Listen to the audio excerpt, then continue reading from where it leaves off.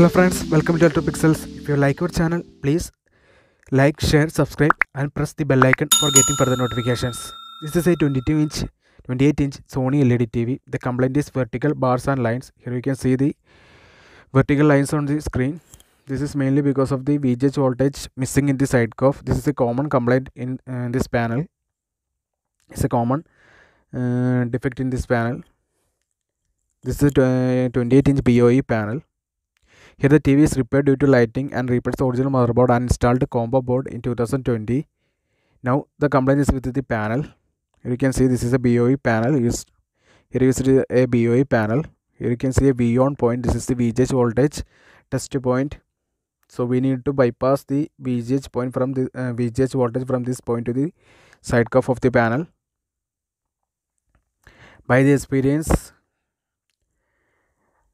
without checking and measuring any voltages i am sure that this is the uh, complaint with the side COF vgh voltage is missing because this complaint is common in this model 28 inch panel. So this is the side COF now we remove the front cover.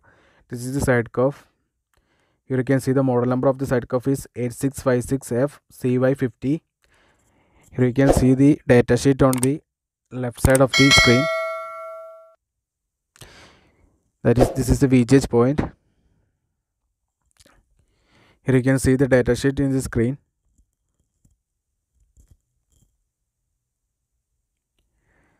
I'll show you in detail by zooming this uh, datasheet this is the datasheet so now we need to uh, remove the installation from the VGH point test point. So here we, the installation from the VGH test point is removed.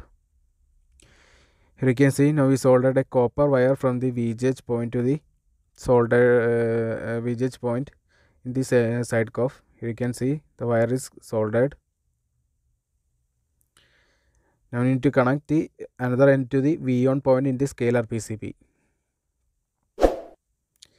see now the copper wire is soldered on the uh, the another point is soldered on the V on V on point which is the VGH voltage point on the scaler PCB and then the wire is copper wire is in double, insulated with a double side tape properly and fix, fixed properly without touching other components.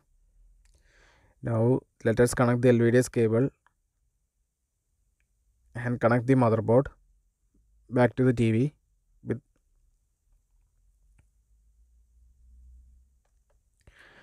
you can see the copper wire is soldered on the V on point.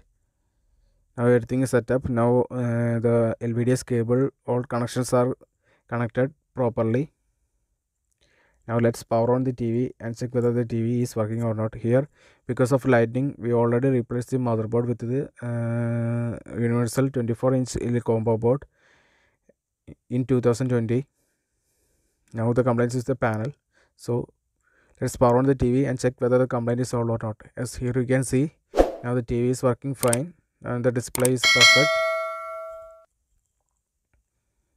so finally after putting all back covers back to the tv and all screws are uh, connected properly now finally let's turn on the tv now everything is done.